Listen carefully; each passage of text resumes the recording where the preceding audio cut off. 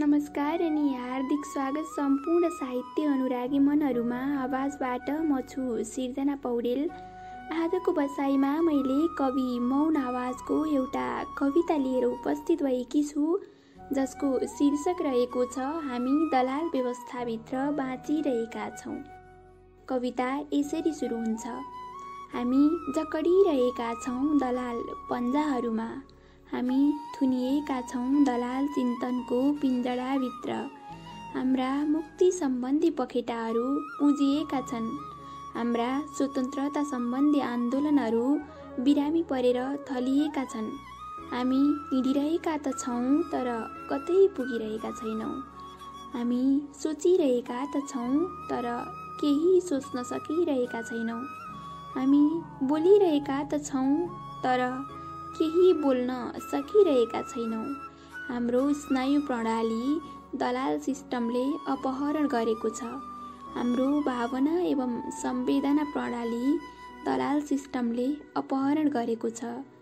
हाम्रो सोचाइको निर्बन्ध आकाशमाथि दलाल गुप्तचरहरूको ड्रोन उडिरहेको छ।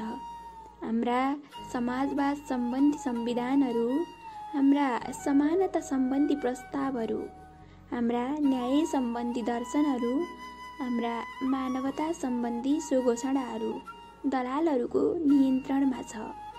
हाम्रो सामूहिक सपना दलालहरूको कब्जामा छ। हाम्रो राष्ट्रिय योजना दलालहरूको कब्जामा छ। हाम्रो स्वाधीनता हाम्रो आत्मसत्ता दलालहरूको कब्जामा छ। हाम्रो आँसु र उमङ्ग दलालहरूको कब्जामा छ। हाम्रो श्रम र पसिना दलालहरूको कब्जामा छ। हाम्रो पहिचान र संस्कृति दलालहरूको कब्जामा छ। हामी दलालहरूको विशाल व्यूह रचनाभित्र कैद भइरहेका छौँ। हामी दलालहरूको सामान बेचिरहेका छौँ। हामी दलालहरूको सामान किनिरहेका छौँ। हामी दलालहरूको लागि उठिरहेका छौँ। हामी दलालहरूको लागि सुतिरहेका छौँ।